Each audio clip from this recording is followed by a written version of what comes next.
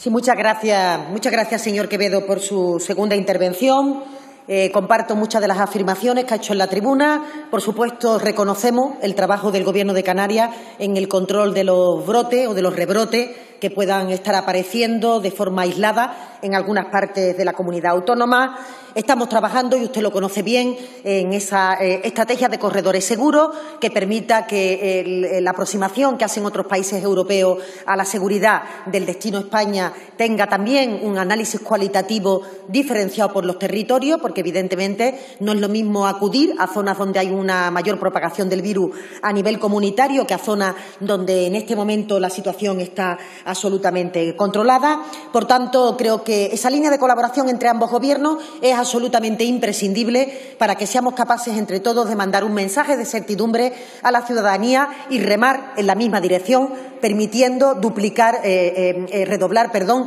los esfuerzos y que no sean vectores que cada uno tira para su lado. Tenemos que expresar esa satisfacción del trabajo con el Gobierno de Canarias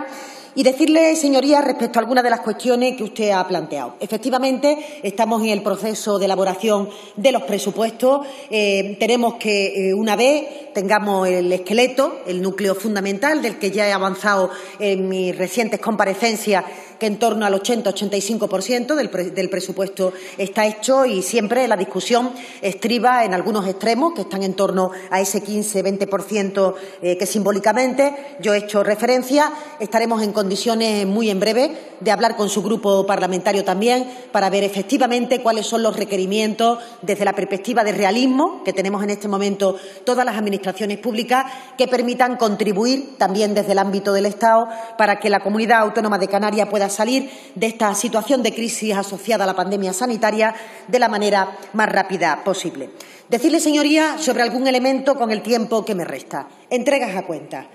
Es evidente que las entregas a cuenta eh, hay que calcularlas en base a las previsiones macroeconómicas que el Gobierno tiene proyectado para el año que viene. Siempre que este Gobierno ha tenido posibilidad de elegir, ha elegido aquello que más beneficia al ámbito territorial y a las comunidades autónomas. No siempre tenemos esa capacidad. El año 2018, perdón, 2019, actualizamos las entregas a cuenta en base a un anteproyecto de presupuesto que se presentó en esta Cámara que no, que finalmente resultó que no vio la luz, pero que permitió tener eh, un anclaje legal que eh, hizo que el Gobierno de España autorizara la actualización de esas entregas a cuenta. Este año, 2021, igualmente, habíamos hecho una previsión, incluso este Gobierno, este, este Parlamento aprobó una senda de déficit a principio de año, parece que hace una eternidad, pero no hace tantos meses, en base a unas previsiones macroeconómicas que han permitido también que hayamos actualizado las entregas a cuenta 2020 al 1,6, que en ese momento era la previsión de crecimiento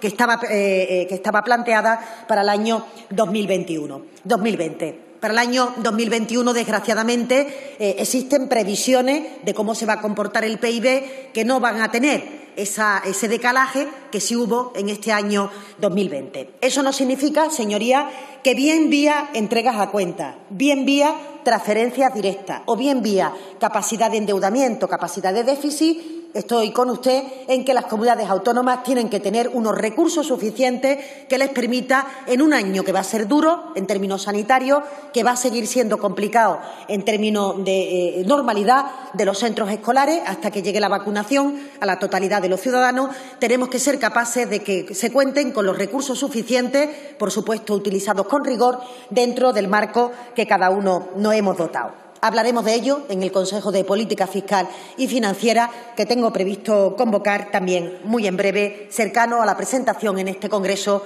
del techo de gasto. Decirle también, señoría, que el incumplimiento que usted decía de la sentencia de los convenios eh, que regularizaban una situación derivada también de la falta de compromiso de los anteriores gobiernos del Partido Popular. Hay que decir que esta es una situación heredada para este Ejecutivo y quiero decirle que con el anterior Gobierno de Canarias este Ejecutivo pretendió saldar esa cuenta incluso hacer efectiva la sentencia de la manera que entendía la abogacía del Estado que afectaba a las cuentas públicas. No fue posible, no estaba gobernando entonces el anterior este gobierno, conozco ahora su intención, pero no fue por falta de iniciativa del Gobierno del señor Sánchez para ser capaces de saldar, usted bien lo ha dicho, esa deuda que hay con la comunidad autónoma, en donde eh, tendremos que tenerlo en cuenta también para la previsión presupuestaria de este próximo año. Y también decirle, señoría, el plan de empleo, todo lo que es el saneamiento, abastecimiento de agua potable en el conjunto de las islas, todas esas partidas presupuestarias que usted trasladaba aquí están siendo igualmente necesarias, por tanto, se, se contemplará en el proyecto de presupuesto que impulsaremos. Y termino diciéndole lo que le decía. El acuerdo firmado eh, eh, o el acuerdo, el objetivo de déficit eh, que se formalizará en la comisión mixta con el Gobierno vasco, señoría, no es ningún tipo de agravio comparativo con el resto de territorios y creo que no nos viene y que no mm, apunta nada bueno al debate querer confundir la situación fiscal del País Vasco con el resto de territorios, incluso con Canarias, que tiene una situación singular, también en los cabildos insulares respecto al resto de territorios la fijación del endeudamiento y del déficit del País Vasco se ha debido a que ellos no reciben, ellos recaudan directamente la fiscalidad, impuestos de sociedades, IRPF, etcétera, y por tanto lo mismo que ha ocurrido con el resto de comunidades autónomas, actualización de las entregas a cuenta al 1,6, se ha hecho con el País Vasco en vez de por transferencia, por la vía del objetivo de déficit, porque son ellos los que tienen la merma en su capacidad de recaudación. Por tanto, no hay ningún agravio comparativo. Tenemos que adaptarnos a las singularidades de cada territorio y no se preocupe que los fondos europeos eh, tendrán capacidad, todas las administraciones, de participar de su ejecución. Tenemos que ponernos de acuerdo en los proyectos tractores, que son los que realmente van a permitir aprovechar esa situación para la recuperación económica de nuestro país y estamos seguros de contar con la colaboración, con la lealtad del Gobierno de Canarias, todos empeñados en que esta situación pase lo antes posible y podamos recuperar esa senda de prosperidad de la que hablábamos al principio de la intervención. Cuente con el apoyo de España. Muchas gracias. Gracias, señora ministra.